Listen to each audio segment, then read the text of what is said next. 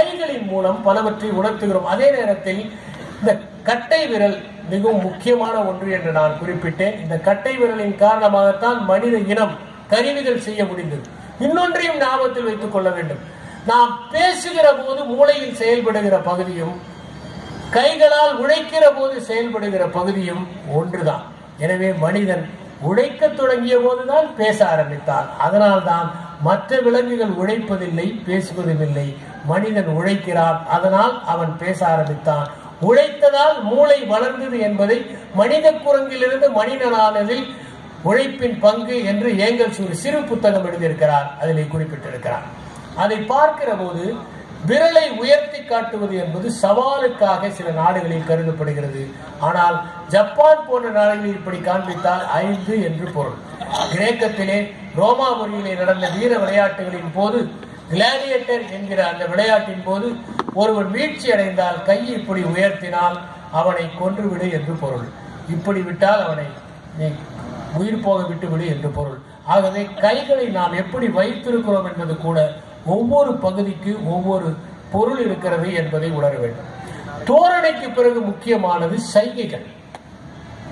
அந்த சைகைகளின் மூலம் உதாரணமாக நம்முடைய சைகைகள் நாம் பேசுவதற்கு துணை போகின்றன.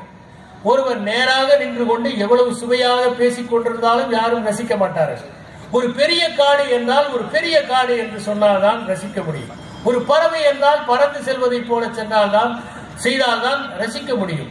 அதை போல சைகைகள் பேச்சுக்கு துணை புரிகின்றன உதவி புரிகின்றன. சைகை இல்லாமல் ஒரு மனிதனால் ஒருபோதும் பேச முடியாது.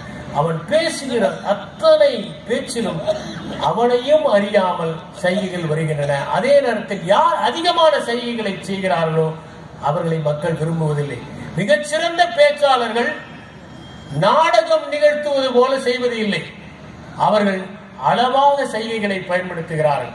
தேவையான இடத்தில் குரலை ஏற்ற இறக்கங்களோடு பயன்படுத்துகிறார்கள். சகல நேரமும் உச்சஸ்தாயில் பேசிக் கொண்டிருப்பவருடைய பேச்சு எடுபடுவதில்லை. புரட்சி கிளப்ப வேண்டும் என்று பேசியவர் கூட தேவையான இடத்தில் மட்டுமே குரலை உயர்த்தினார்கள் மக்களிடையே மறுமலர்ச்சியை ஏற்படுத்த வேண்டும் என்று நினைத்தவர்கள் கூட தேவையான இடத்திலே பயன்படுத்தினார். ஏனென்றால் அவருடைய சைகைகளை அந்த பேச்சுக்கு துணையாக அழைத்துக் கொண்டார்கள். அதனால்தான் பேசுகிற போது மிகச்சிறந்த பேச்சாளர்கள் கூட ரெட்டாரிக் என்று சொல்லப்படுகிற அரிஸ்டாட்டில் எழுதிய புத்தகத்தில் வருவதைப் போல நியாயமான வாதங்களை முன்வைத்த போது அழகான சொல்லாட்சியோடும் சரியான அங்காசிவுகளோடும் பேச ஆரம்பித்தார். டெமஸ்தனிஸ் மிகச்சிறந்த பேச்சாளராக வருவதற்கு முன்னால் அதிகமாக பேச முடியாதவராக இருந்தார். அவர் குரலிலே தடுமாற்றம் ஏற்படும். அவர் திக்கி திணறி பேசுவார். அவருடைய வாதங்கள் எடுபடவில்லை. அப்போது அவர் எல்லாவற்றிலும் தோல்வியடைந்து வீட்டுக்கு வந்து சோர்வின் காரணமாக இனி நான் சிறந்த பேச்சாளனாக ஆவேன் என்று சொல்லி பாதி தலையை மழுங்கு சிரைத்துக் கொண்டார். அவருடைய பாதாள அறைக்கு சென்றார். கண்ணாடியின் முன்னால் நின்று பேசுவார். முகபாவங்களை உடல் அசைவுகளை வடிவமைத்துக் கொண்டார். வெளியே தலை காட்டக்கூடாது என்று பாதி சிரைத்துக் கொண்ட அவர் புத்தகங்களை முடி வளரும் வரை படிக்க ஆரம்பித்தார். படித்து படித்து அறிவை வளர்த்துக் கொண்டார். கடற்கரைக்கு சென்றார். கூழாங்கற்களை எல்லாம் வாயிலே அடக்கிக் கொண்டு கடற்கரையிலே நடந்து நடந்து பேசி தான் திக்குவதிலிருந்து விடுபட்டார். மலையிலே ஏறி வேகமாக பேசி ஒரே வாக்கியத்தை ஐந்து நிமிடம் ஆறு நிமிடம் மூச்சு விடாமல் பேசுவதற்கான பயிற்சியை பெற்றார். கடல் அலைகளின் பக்கத்திலே பேசி அந்த அலைகளை விட உறக்க பேசும் ஆற்றலை பெற்றார். இத்தனையும் பெற்ற பிறகு அவர் சென்று வாதாடிய போது ஒரு வழக்கில் கூட அவர் தோல்வி அடையவில்லை. ஏனென்றால் பேச்சு என்பது வெறும் சொற்கள் அல்ல அது உடல் மொழியையும் தாண்டியது குரலின் ஏற்ற இறக்கங்களையும் தாண்டியது. எனவே நாம் பேச்சின் சூட்சுமத்தை அறிந்து கொள்வதற்காக குரல் மொழியை புரிந்து கொள்ள வேண்டும். பாபர் அரசவையிலே வீற்றிருக்கிறார். எல்லா சிப்பாய்களும் வரிசையாக வந்து உணவுப் பொருட்களையும் பணத்தையும் ஆக்கிக் கொண்டு செல்கிறார்கள். ஒரே ஒரு சிப்பாய் மட்டும் வந்து நின்று கம்பீரமாக அந்த உணவுப் பொருளை வாங்குவதை பார்த்து மந்திரியிடம் சொன்னார் இவன் ஆபத்தானவன். இவனை கைது செய்ய மந்திரி சொன்னார் நாம் எவ்வளவு பெரிய சாம்ராஜ்யம் வைத்திருக்கிறோம். இந்த ஆப்கான் சிப்பாயியா நமக்கு தொல்லை கொடுக்க போகிறார் என்று. அந்த சிப்பாய் தான் தொல்லை கொடுத்தான் அவன்தான் ஷேர்கான் என்கிற ஷேர்ஷா வாடான் ஏனென்றால் நம்மையும் அறியாமல் நம்முடைய கம்பீரம் உடல் மொழியில் வெளி- வெளிப்படும். யாரெல்லாம் பணி யாரெல்லாம் தன்னை அறியாமல் ஒரு தாழ்வு மனப்பான்மையோடு இருக்கிறார்களோ அவர்கள் தங்களை அறியாமல் உடலை தோரணையின் போது குறுக்கிக் கொள்வார்கள்.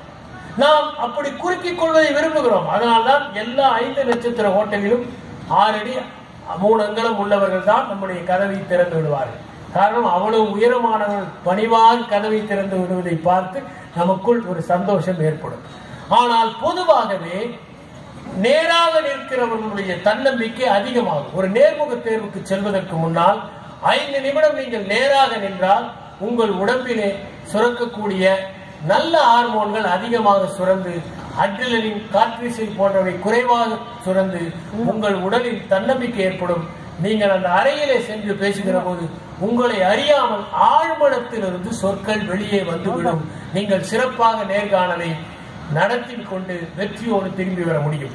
எனவே சொற்களற்ற மொழி சொற்களை துணைக்கு அழைப்பதோடு மட்டுமில்லாமல் அதற்கு உருவம் கொடுக்கின்றன உந்துதல் கொடுக்கின்றன ஆதிக்கம் கொடுக்கின்றன சக்தி கொடுக்கின்றன. ஒரு மனிதர் பேசுவதை வைத்து மட்டும் எடை போடாதீர்கள். உடல் மொழியை இன்றிலிருந்து உற்று கணியும் கவனியுங்கள். அவர்கள் சொல்லாத பலவற்றை உடல் மொழியின் மூலம் சொல்லுகிறார்கள். அதன் மூலம் அவர்களிடம் எப்படி நடந்து கொள்வது என்பதை தெரி தெரிந்து கொள்ளுங்கள் என்று கூறி உங்கள் அனைவரிடமிருந்து விடைபெறுகிறேன்.